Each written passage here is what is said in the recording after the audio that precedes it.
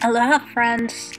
My name is Reem Bessus and I'm an assistant professor of drawing and painting at Leeward Community College. Today we're going to do something called a stained glass illusion. First, you start by drawing shapes with a ruler, triangle within a triangle within another triangle, and break those shapes up. As you can see, I'm coloring in the shapes and it looks like stained glass. And that's the kind of glass that you put up against a window and it has all these beautiful colors. For this exercise, I'm using a thicker paper like cardstock and I'm using watercolor pencils.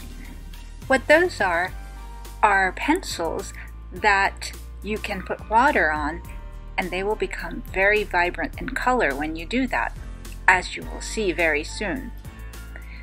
So I'm finishing up coloring in all the shapes that I've drawn. You don't only have to draw triangles, but I like those the best. Now I'm putting on the water, and that's the best part. You can see how all these colors start popping out.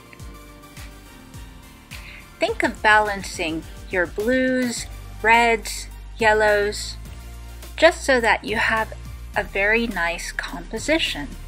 A composition is what your picture is made of.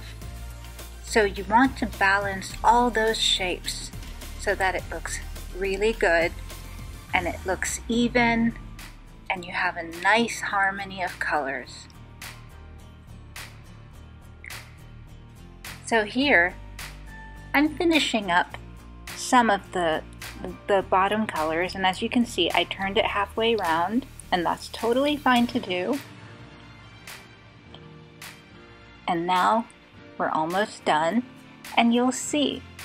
If you don't have a stained glass piece, this is a perfect stand-in. This was a very fun exercise for me to do.